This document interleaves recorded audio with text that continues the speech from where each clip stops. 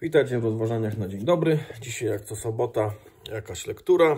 Dzisiejsza lektura to będzie lektura e, autora katolickiego, a nawet byłego papieża, który niedawno zmarł, Józef Ratzinger.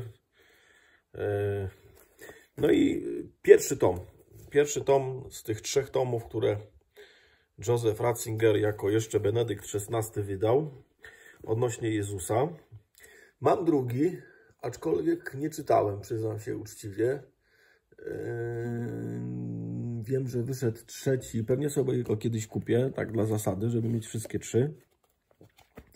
Natomiast pamiętam, że kiedy ten pierwszy tom wyszedł, i to było dosyć dawno, bo to było, drodzy yy, słuchacze, 2007 rok. Yy, I pamiętam, że ja wtedy już uczyłem dogmatyki u nas w seminarium i nawet kazałem tą książkę naszym studentom przeczytać. I pamiętam, że nawet się podobała, albo przynajmniej udawali, że im się podobała. No ciężko mi dzisiaj powiedzieć, na ile udawali, widząc, że mi się podoba, na ile faktycznie im się podobała. Jaka to jest książka? Znaczy, po pierwsze, to jest książka wiary. I kiedy mówię książka wiary, to chcę powiedzieć o tym, że tutaj Benedykt nie udaje jakiegoś takiego y, teologa, bardzo mnie to denerwuje, muszę przyznać, jak ktoś udowadnia w swojej książce, jakim jest wielkim teologiem. Powiem szczerze, że mnie po prostu coś bierze w środku, jak ludzie takie rzeczy piszą. No bo mi szkoda czasu na to. Znaczy ja jakby sam dojdę do wniosku, czy ty jesteś wielkim teologiem, czy nie jesteś. Generalnie ilość referencji mnie nie przekona do tego, czy jesteś wielkim teologiem, czy nie jesteś, czy y, autorze książki.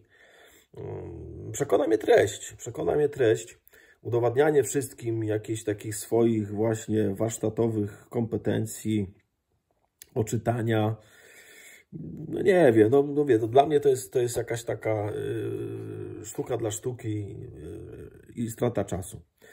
Y, druga rzecz, która mi się podoba właśnie w tej książce i która się łączy z tym, że jest to książka wiary, znaczy książka wiary z definicji jest książką, która nic nie, jakby nie tyle się boi, co, co wyraża coś. I myślę sobie, że to jest czymś bardzo ważnym.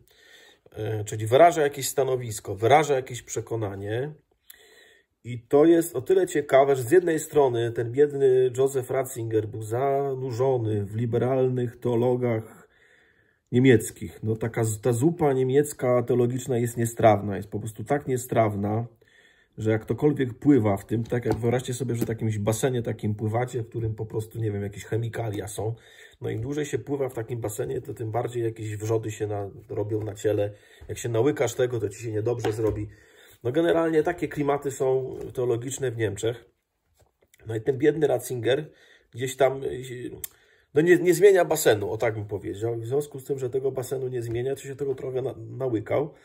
Natomiast generalnie ciągle, i to co mi się tutaj bardzo podoba, on ciągle wierzy i ciągle wierzy konserwatywnie. I to jest taka, bym powiedział, cecha bardzo odważna, szczególnie pływając dalej w tym basenie. E, bo co innego jest, jak ktoś zmienia basen i sobie płyna, pływa w jakiejś świeżej wodzie, no to to jest w miarę proste, ale pływając w takiej wodzie ciągle wierzyć, to jest naprawdę, e, no, takie bym powiedział, no może nie heroiczne, nie, to przesadziłbym, ale odważne, ale naprawdę bardzo odważne. Y, wierzy, jest przekonany do konserwatywnych, ortodoksyjnych przekonań chrześcijaństwa, stara się udowodnić historycznie, stara się też pokazać ich teologiczną wartość i powiem Wam, że generalnie pełen szacunek, naprawdę pełen szacunek. Mało znam takich teologów protestanckich, ewangelikalnych, którzy na tym poziomie weszliby w interakcję z różnymi y, twierdzeniami liberalnymi, Yy, i dalej wierzyli, i dalej wierzyli. Bo znam takich, którzy wchodzą i tak naprawdę się boją. Znam takich, którzy nie wchodzą ja do takich należę. Mi szkoda czasu na to po prostu.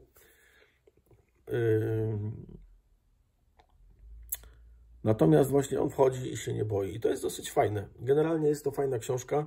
Jest to książka budująca, także zachęcam Was, jeśli macie trochę czasu, E, ciekawie o chrzcie napisał. Pamiętam, że kiedyś się nad chrztem Chrystusa zastanawiałem i ta jego myśl taka główna, którą do dzisiaj pamiętam właśnie, że, że Chrystus ochrzcił się, aby pokazać jedność z nami. bardzo ciekawa, bardzo głęboka, prosta, a jednocześnie przekonująca. Także szacunek, yy, dobra książka, warto poczytać, biblijna, yy, tak jak powiedziałem, wchodząca w interakcję z różnymi dziwnymi ludźmi, ale w tym wszystkim jednak jednoznaczna, co naprawdę jeszcze raz no, jest rzadkie i, i, i, i godne szacunku. Panie Boże, dziękuję Ci za tą książkę, dziękuję Ci za to, że właśnie można w Ciebie wierzyć i nie wyłączać myślenia, a też Panie, z drugiej strony trzeba właśnie czasami wyłączać e, zawstydzenie i, i Tobie wierzyć, niezależnie od wszystkiego. Dziękuję Ci Panie za to. Bądź Boże uwielbiony. Dziękuję Ci za dar wiary, za to, że właśnie możemy się tym cieszyć i, i dla Ciebie żyć. Z Bogiem i do zobaczenia.